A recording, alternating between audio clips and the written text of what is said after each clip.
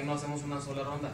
Miren, vamos a ser muy respetuosos de la norma, de la propia convocatoria. No queremos ni, ni los representantes de las instituciones, ni nosotros, y, y nadie de los que estamos aquí, hacer las cosas de un, de un modo distinto. Esa es la forma en cómo vamos a determinar el día de hoy a quien representa en el distrito. ¿Qué son rondas de eliminación o qué son mesas de trabajo? Vamos a llamarle también así. Esta explicación ya va para ustedes, para los niños, para nuestros representantes escolares.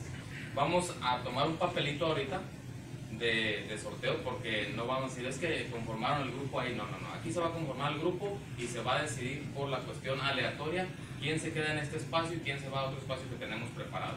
Los acompañantes pueden estar en el lugar que prefieran de los, de los niños, es decir, pues obviamente los maestros y, y familiares van a estar donde esté su niño, las autoridades pueden, sin interferir, podemos interferir las autoridades también trasladarnos de un espacio al otro y también aquí va el aviso hacia los acompañantes y nosotros mismos. No podemos interferir la convención de en la convención de los niños. No podemos persuadirlos, no podemos eh, eh, echar porras vivas. Ellos- El aplauso es suficiente cuando acaba cada uno y siempre, ante todo, con el respeto al niño, el, que todo niño y niña nos merece, igual que el que nos merecemos todos. Entonces, esa es una de las cuestiones que tengo que dejar bien claro aquí. Eh, luego, ¿en qué consiste la exposición que se va a hacer en cada uno de los grupos?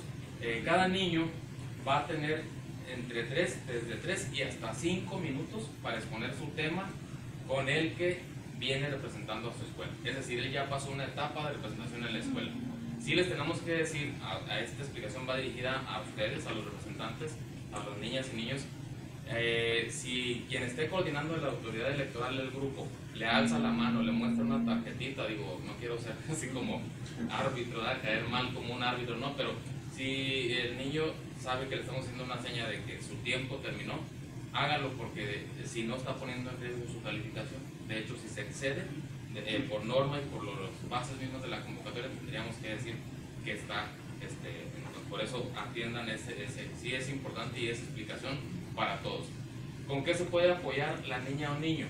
El representante de la escuela, con una tarjeta nada más. No puede tener las hojas, la lectura, esto es para todos igual. Sí puede tener su, únicamente su tarjeta que decimos ahí de tipo ficha bibliográfica y esto. Si también eh, pretende o por alguna situación de nervios o lo que sea, dar lectura a esa tarjeta incluso también sería motivo de decir que no continúa con el proceso.